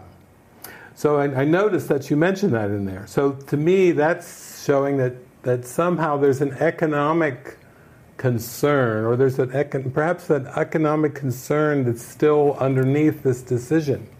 But remember, if purpose is the only choice, if, if you're going to decide for joy, for happiness, for love, to shine your light, regardless of whoever, wherever, whatever, and this concern is still coming up, then that's perfect. See, you've done just what Vera did. You've actually gave it away in that line where you said, if we part, then I lose my job. So ultimately, you can see trust would settle every problem now. It's like, in order for you to really open up to the guidance, the guidance can't come if there's fear. You know, we need to be able to, we don't have to have our mind completely purified, but even for a moment, we have to come to that still open point where we invite the miracle, we invite the guidance to come in. And just by you saying, if we split, I'm, I will lose my job, you've exposed the fear right there in that one sentence. So it's kind of like that is really important because that's where the trust comes in. How many of you watching online can relate to what Sabine's talking about? Have you ever felt about staying in a partnership where you had a financial concern about what would happen to you in the future uh, if you were apart. That's important because, in the end, if we're going to follow this purpose and we have these fear of consequences, fear of, of what may happen if it looks this way, fear of what may happen to me financially, will this body be able to survive? Will this body be able to enjoy this world? You know, that, that is a very deep, profound question because I would say that's a question of faith. That's a question where, where really it's the Spirit is saying, have faith in me. I, I, let me guide you for your happiness. But if you're going to use these past fears and doubts to block my guidance, then the Spirit's saying, I have to wait. I'm, I can not force my guidance on you. I have to have you face those fears. And I would say the Spirit knows what's in your best interest. The, the Spirit knows exactly who you have to meet, where you have to go, where you have to live, everything about it to, for you to free your mind. Like Morpheus tells Neo, I'm here to free your mind. That's what you want. So that's why I'm saying you really do know the answer to this. It's zooming into you more and more because it's a question of, of your faith. If you really have the faith in the Spirit to carry you, then it ceases to become, these, these are not difficult questions. Like Greg and, and Jeffrey were talking about, they were both saying it's, it, it became obvious. For Greg, it became very obvious. For Jeffrey, it became very obvious. For all of us, it becomes very, very obvious. Now, let's go to Vera. Let's go. Uh, we've solved, solved that there. Vera, like, basically, the reason that the fear is coming up, again, it's, it's fear of consequences, fear of uh, rocking the boat, uh, fear of what other people will say, fear of what other people will think, um, fear of perhaps there's economic things tied in there, perhaps there, you know, we're really starting to say, wow, the only thing that's holding me back from really knowing what the guidance is is there's some interference patterns that are going on in my mind that are making it difficult for me to connect with the Holy Spirit and Jesus. And these interference patterns are all based on what? the past. It's past learning. All of those boxes that, that Frances was talking about, you know, how we have all these boxes, and with Soren, Soren's like, ah, do I have a relationship with Frances? I sure do. But the interviewer said, but, uh, well, wait a minute, but Frances is in a relationship. Frances has a partner, and you're in. What's going on is like you could just see the ego going on in the interviewer's mind. Oh, it's a triangle. Oh, I always knew there was something weird about those people. And da, da, da, da. You know, no, no, no, no, no, no. Let's get clear here. I've got 25 minutes left to wipe the ego out for good. Let's let's stay with it here. So, if all those boxes of relationships are based on the past, you know, they're a couple and they're uh, heterosexual and bisexual, homosexual, blah, blah, blah, more categories. No, no, it's all past learning. It's all past learning. Married? Are they married or divorced? What's their marital status? Past learning. Marital, past, single, past, past, past, past. And then the ego says that's all real, so you better figure it out. You better analyze it and figure out what you are. Are you are you homosexual? Are you heterosexual? Are you this? Are you with somebody? Are you not? What's your category? Are you asexual? I, I came across that term because uh, I heard Bill Thetford, they said at the end of his life he was asexual. I said, asexual? Is that what, like non sexual? And it's like these are people that generally go around and they they're walking around on earth and they they psychologists are saying it's okay to be asexual now because that means you don't have these thoughts and feelings. You still have these attractions that come through but you don't feel a need to act on the attractions. Oh my god there's another i thought i had the categories down pat. Asexual bisexual homosexual which fluids go in here and come out there and I thought I was trying to figure this sexuality box. That's probably why I gave up being a psychologist and turned to be a teacher of God and gave my mind under the control of Jesus because I could never figure out the categories and who's right and who's wrong and who's going to heaven and who's going to hell because of this fluid going there and that fluid going there. Listen, let's really simplify this. Let's just take the ego out of this altogether. If you have a purpose right now, and it's your decision for happiness, and you are willing to lay aside all of these past boxes and learning and just say, hmm, maybe I don't know. Maybe I don't know what's best for me. Maybe I don't know, but maybe there is one inside of me, within me, who does know, who knows the way out of the labyrinth and out of time and space and back to eternity. Maybe there is one who does know. And that one is with me. That one loved me. What's the thing? Impel. Overwhelming. Overwhelming appeal. appeal. That one is looking on you, going with overwhelming appeal. oh, Vera, you just want love. You don't want fear. You want love.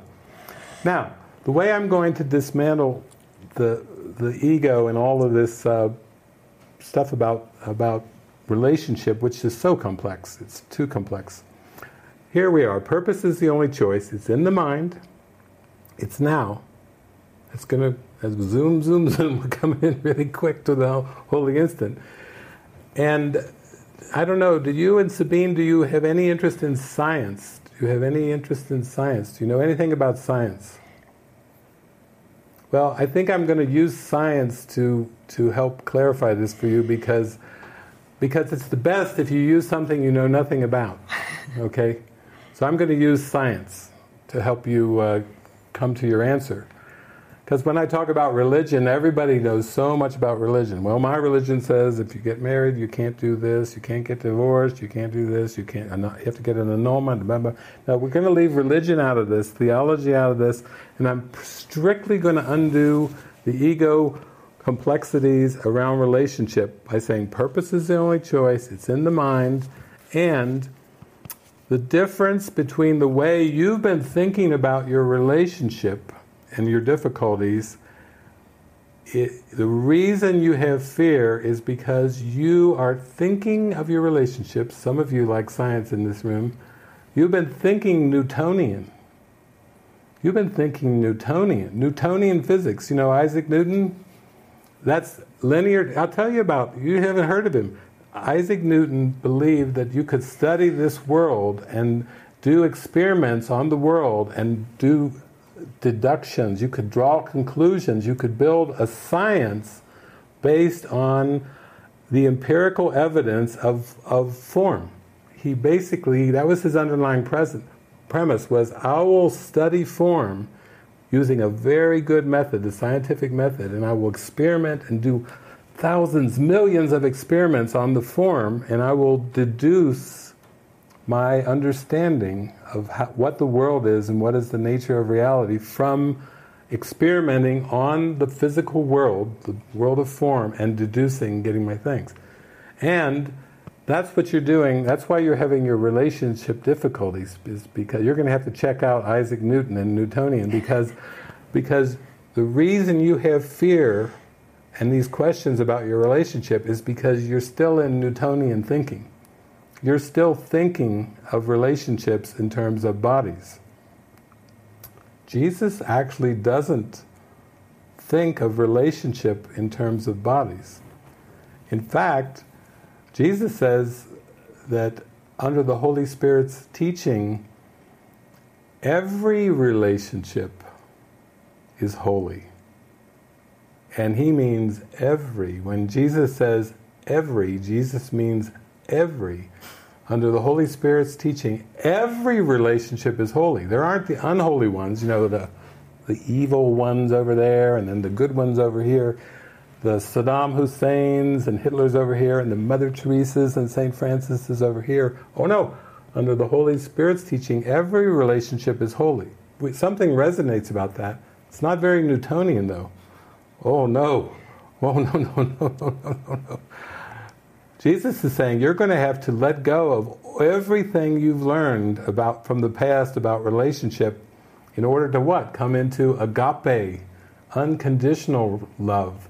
In order to love everyone, you're going to have to start to see them beyond the body. You're going to have to trust Jesus that you would want to see them sinless. You would want to see them innocent. He's not even going to tell you, pretend they're not there. He's going to say, do I wish to see him sinless? Do I wish to see my partner, my brother, my sister, everyone sinless?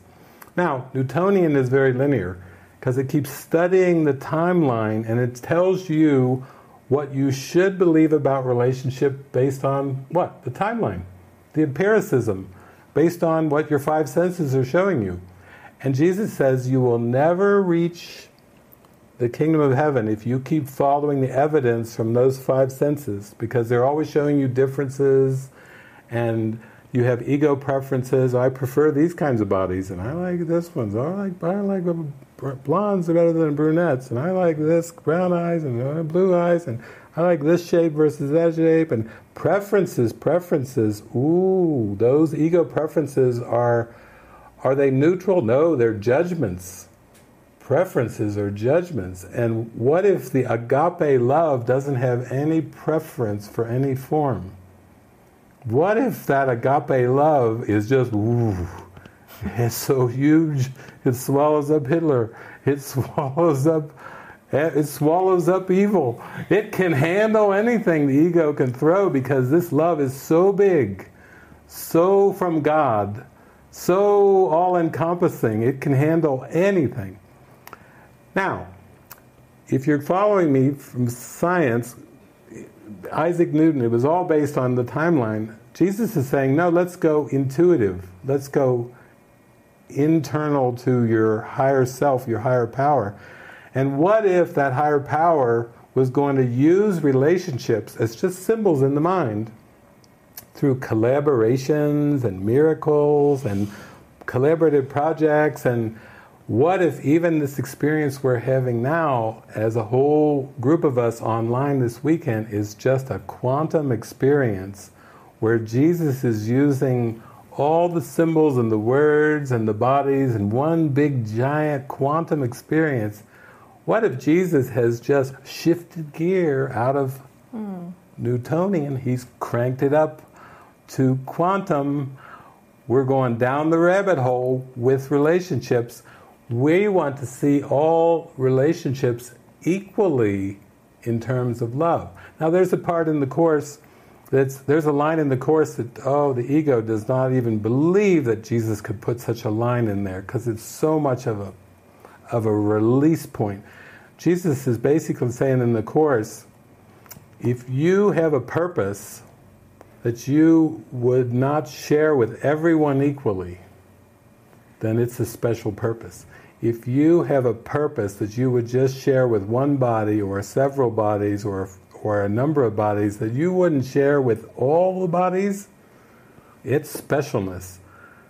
Now, what is the one purpose that you could honestly say that you could share with every single body in your mind? I'd say it's forgiveness. I'd say there is a purpose, and I've been talking about it all weekend. There's the one purpose that you can share with everybody with no concern about leaving somebody out or no concern about, oh, I'm going to forgive this one, but I better don't tell so and so over there I'm going to forgive because, ooh, they're going to be upset that they're excluded. No, you need the same purpose in this moment in your mind that will unify perception in a quantum way and will take you out of Newtonian altogether. Because Isaac Newton was just postulating, he thought that nature of reality depended on physicality. And how many people have do you know, maybe even yourself, who, who when you talk about reality, you're talking about the world. Or when somebody comes up and you start talking about love and oneness and happiness and joy, they go, get real. What does that mean, get real? Let's get physical, physical. Listen, I'm sorry, I, I do not agree with that. Let's get spiritual, spiritual. I want to get spiritual. Let's get into spiritual. Let me hear your spirit talk. Your spirit talk. Let me hear your spirit talk. Let's get vertical, vertical, not horizontal. That's Newtonian. We're going quantum. Let's get vertical, vertical. I want to get vertical. Let's get into vertical.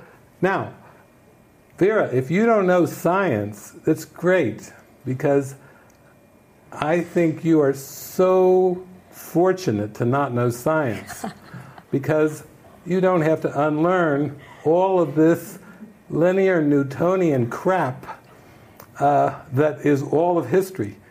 But if you want to really enjoy science, you type in quantum mechanics. You type in into your Google. You type in quantum physics. You type in quantum theory. What's our friend Margie, Margie from Mara. from quantum? She was talking about mechanics. Quantum mechanics. Quantum mechanics. You know, you contact her up there in Holland, where you were when you met us, and you ask her a little bit about quantum mechanics, because she'll talk to you about that crack, and she'll talk to you about going vertical. And if you apply quantum physics to your relationships, this is not just for Vera, this is for all of us now. if you apply quantum physics to your relationships, you're going to be so happy.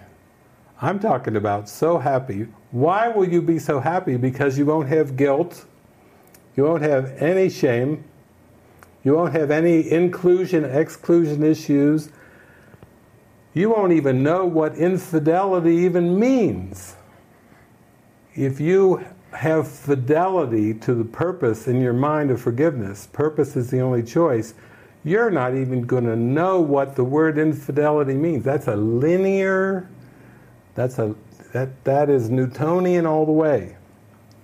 So, can Soren fall deeply in love with Frances while Frances is deeply in love with JP in Newtonian language, that's a no no. That's a big no no. That means Soren should back off. Back off.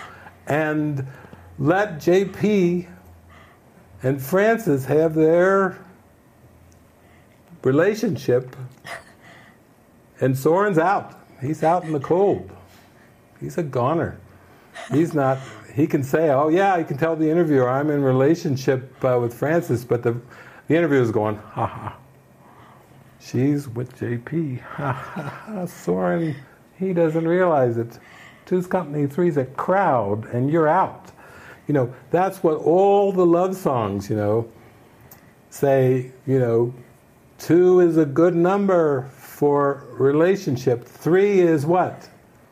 Ooh, don't touch that dial, don't touch that pole. Because from Newtonian perspective, a relationship is between two. You know, Jesus would say that is a bunch of baloney. Absolute baloney, because love is about oneness. Love is about we're all in this together. Love is about about everyone is included in this love and no one is excluded. But love is not about form, as we come back to Sabine. Love is content. Jesus says that actually in A Course in Miracles. He says, Love is content and not form of any kind. Okay, are we really ready to go for purpose is the only choice? That's from Jesus. Love is content and not form of any kind. And Sabine, you were just telling me in, when you wrote it in, you said, This relationship that I seem to be in is all form and no content. And then Jesus is saying, Wait a minute, no. Love is content and no form of any kind. So, oh, now we're, we're really releasing the whole human race now. We are actually using these final 10 minutes now. With you, you are you are more important than Romeo and Juliet.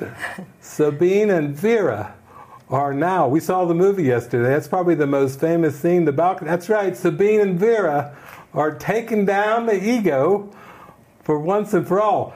Because in the movie, remember, Romeo is at the bottom, Juliet's up on the balcony, and they can't touch.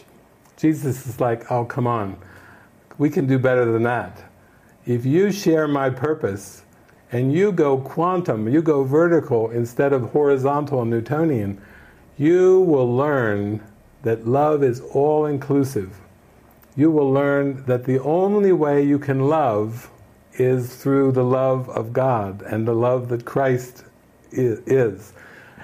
He's even got a workbook lesson where he says, There is no love but God's.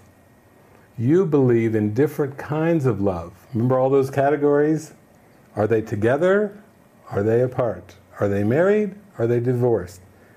What's their sexuality? Is it bisexual, asexual, homosexual, transsexual? What is going on over here with all these categories? Jesus is like saying, He says it in the workbook. Oh, no, no, no.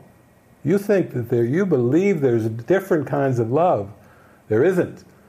There's one God, there's one Christ, there's one Son of God, and that Son is neither male nor female. That Son is spirit. That God is spirit. That's who you are. That's what love is. And everything else isn't. Newtonian is gone. Quantum. If some of you are not scientists, you need to go look up quantum mechanics. You need to look up the quantum field. There's, that's a nice experiment for you at the end of this retreat you still have some relationship issues that are going on, you still have some grievances, you're still struggling in your relationships, look up the quantum field. Type those words into Google, quantum field. And then take what the scientists are sharing in there, put it together what Jesus is sharing in A Course in Miracles, and you will become indescribably happy indescribably joyful because you finally will realize that you don't have to compromise. Like Frances was saying, the only compromise is trying to hold on to those boxes. The only compromise is trying to hold on to the specialness. The specialness is linear time, right? We're down to the, the noodle. Uh, you know, a spaghetti noodle. I've talked about this for years. It's a spaghetti noodle. Are you going to be on the line and suffering or are you going to go into the point? Are you going to turn that noodle around, look right down at the point, and are you going to dive into the point, or are you going to keep playing with these time symbols that the ego wants to use? It's all about whether you put faith in the body or not. Again, I'll say it again. At no single instant does the body exist at all. It is always remembered the past or anticipated the future. You see, that's what Newtonian physics is about. That's what the ego's invention of fictitious linear time is about. And that's what blocks you from the holy instant and going vertical straight up into eternity, straight up into the everlasting, straight up into the love that you've always known is real and true, the love that never rejects, never abandons, never turns away. That love is always there for you. Hmm. So there you go. We we even did that with five minutes to go. I, I just used a little uh, science in there, and if you can apply your science to your relationships, you I guarantee you you will come to purpose being the only choice and it being in the mind. That is, I think, the promise of Jesus that we can experience the kind of closeness, intimacy, and love in absolutely everything, just like this weekend. You know, what we're experiencing with each other is the potential that we can have with absolutely everybody, including the partners, including the intimate partners in our lives, but not limited to that, you know, to absolutely everything. So I just feel like, yeah, this is, David was just setting up this, this bar, you know, let's just, knowing it's, it's the undoing of all the boxes. I feel like that's, yeah, beautiful. Yeah. Really beautiful. Because I, you know, when, when Soren and I had this beautiful collaboration and my heart was so open and I would tell JP, I said, I'm so in love with Soren. And he's like, that's so beautiful. There was absolutely zero jealousy. And then if I ask him, he would say, of course you should be in love with Soren. Of course. You should be, you deserve feeling that way all the time. And that is the kind of, that's the kind of support that is what we're, we're feeling. You know, we should open up to everybody and mm. have that experience completely be directed by Jesus, by giving this purpose over to Jesus. That's a reflection. That was a mirroring back Yeah. of of it's perfectly wonderful that you're in love. Is wouldn't it be great if that's the all kind of re- reflections you got back is you're perfectly wonderfully acceptable being in love with with everyone and not holding on to those boxes from the past which is really not we don't find the i am presence by adhering to the past and and holding on to the guilt of who's included who's excluded you know all this idea even that ultimately the systems of morality and and ethics and everything as long as they're still tainted by the past they're still defenses against the holy instant. There are some helpful reflections in morality and ethics but that's only to the extent that they value a sense of, of acceptance and non-judgment. You know as long as it's behaviors what you can do what you can't do you see it's still pointing at the body and the behaviors if the system is completely based on that. But any kind of system that leads you to integrity that leads you to honesty that leads you to a sense of transparency and trust anything that spirit can use to take you into that state of mind is is helpful. And so I did hear Pete was saying, and, and the crew here was saying that, that actually we're going to be, we have another topic for the online retreat, and what could we possibly lead into? Following purpose is the only choice. What, what topic, what theme for our next online retreat? How could we possibly even follow this up what is that topic? Pete, you want to come over here and sit down and Linda can show. Pete actually is going to announce, maybe this was Nicholas's job, but, but we're, we, we're throwing it in here. But what is it that we would follow up? Purpose is the only choice, choice with. Yeah, we're going to go into the forgiven world. so, Yeah, we just really felt it like it was just like a, a heart calling just after this.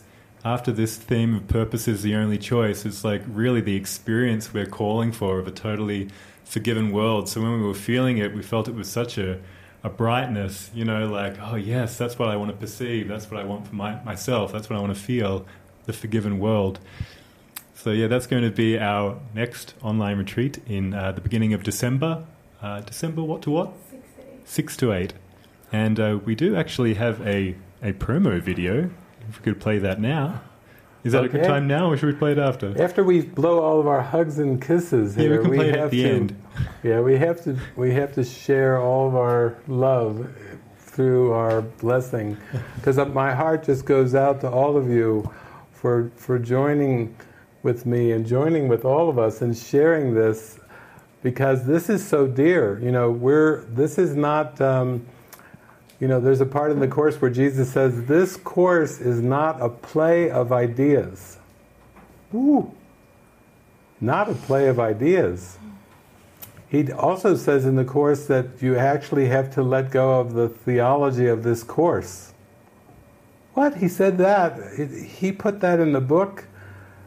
He also says in Lesson 189 forget this world, forget this course, and come with holy empty hands unto your God.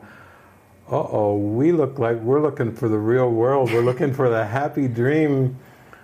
This isn't your Course in Miracles study group. This is your mind calling you into going beyond those eyes moving over that book for decades and actually opening up into an experience that Christ, that Holy Spirit want to offer you in the holy instant. So to me, this is I am so filled with, with joy and and also we were talking about the turtles, like relax.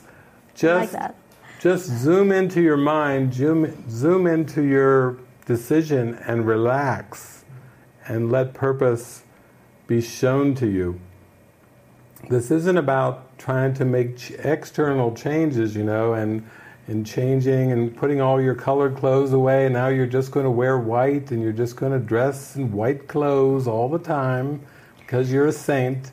And this isn't about just saying, I'm going to click my heels together and twinkle my nose like in Bewitched and, and just say, There's no place like home, there's no place like home, there's no place like home.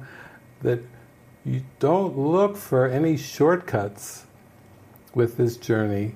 Don't look for things in form to do, words to say that are going to be the shortcut. Don't look for magical healing cures in form. Pray. Go to your closet, like Jesus said in the Bible, and pray. And pray for guidance. Pray to join your purpose right here and right now. And then relax. Become so still and so relaxed because the Spirit will take care of everything. The Spirit will take care of what you thought was the future. The Spirit will clean up anything you thought was the past. The Spirit will inspire you with fun and happiness and joy, which is your contribution in the plan, is your present happiness, is your contribution. And you can really relax into that and know that you are deeply loved from that experience. You will feel that experience. So before we go into the whatever the promo video for whatever is to come in the imaginary future, you well, it's the truth. So you, we're just going to say, we love you. We want to blow all of our kisses from here in the studio, from Camas. We want to share all this love and happiness. We want to say we're with you all the way. And, and we walk together on the self same road. And there, we will not fail. We cannot fail. Happiness and love are inevitable. And we love you. And uh, there, Roberto, you, you've been messaging me the whole time on my phone. I love you. I don't know what you wrote, but I could feel your love vibes coming all the way from Brazil beyond the words, I could feel your heart. and I'll see you soon, my dear friend. Frances and I and Slava are coming your way with, with Jeffrey. So thank you. Adios, amigos, from Mexico.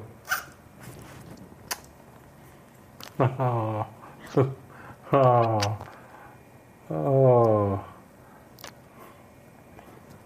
Oh, oh, oh, oh, oh, from Holland. thank you, thank you. Thank you from Camas. Thank you, everybody in Camas.